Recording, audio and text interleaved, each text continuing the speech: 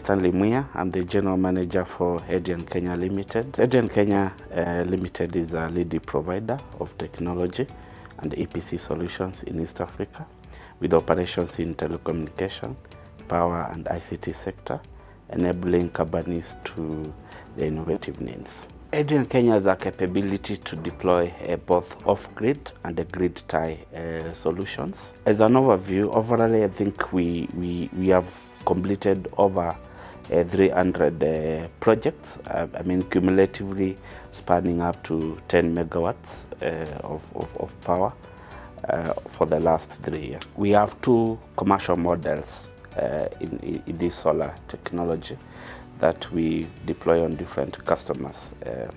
One, one of them is, is we call it a financial development model, where Adrian Kenya comes in to do feasibility study. They do the financing, they do the design, supply, installation, and commissioning. This model is um, where we engage in a customer in a leasing model. Adrian Kenya develops the whole solar plant in partnership with different financiers. And what actually we offer as end product is the power, the energy to the, to the, to the customer. And we charge them monthly. We operate the plant between uh, a period of 15 to 25 years. Then we hand over the infrastructure to the customer. The second model is uh, the EPC contracting model, and Adrian Kenya comes in to, to do the engineering, procurement, and uh, contracting for the for the entire project. Uh, this model is where the customer invests, uh, does the cap, uh, capital investment, and uh, Kenya does all the work up to the commissioning and hand over the project. Our market niche um, spans all the way from uh, government institutions, uh, commercial enterprise, learning institutions, and of course industrial.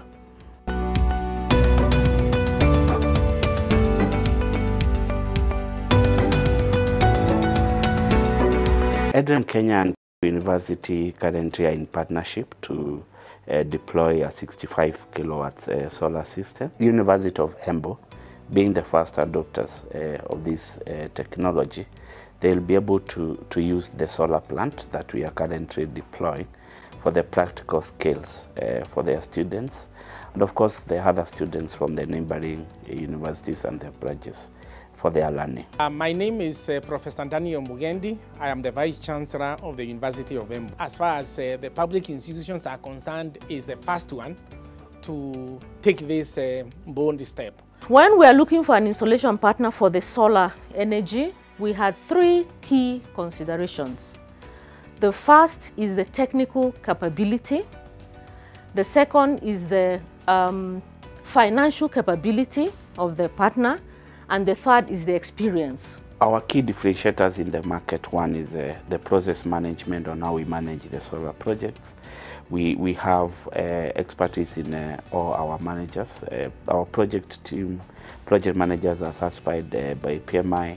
We have experienced uh, technicians and engineers who all of them have the required licenses from EPRA, from the NCA uh, to really undertake the, the, the, solar. When institutions adopt this green technology, there are key benefits that are associated with that. And the obvious one is the cost savings that come uh, from using the solar as a natural source. And of course, it's being complemented with the grid availability and the other sources of power. With this system, we normally use it during the day when we have most of the electrical activities or rather the activities that consume more electrical power. And during the night, when we have less activities, that is when we shift to Kenya Power. With the adoption of solar, we have managed to save our bills by up to 30%. Globally, everybody is talking about the technology, is talking about the power savings, and technology adoption is one of the key benefits. Uh, the second one is um, uh, the skill transfer. I would say that, uh, I mean, uh, in the electrical engineering field, um, much of it has been on the DC power systems, has been on uh, the normal grid power, and now we are moving to more of renewable energy, solar, wind. And I think um, as, as the world moves to embrace the green energy, there will be a lot of need uh, for skills transfer, all the way from the academic institutions to, to commercial.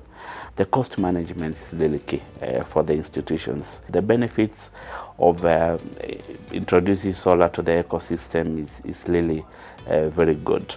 Uh, I think the last one that I would say that is uh, environment conservation. Uh, I mean the principle of conserving environment is, is good for the business and for the community.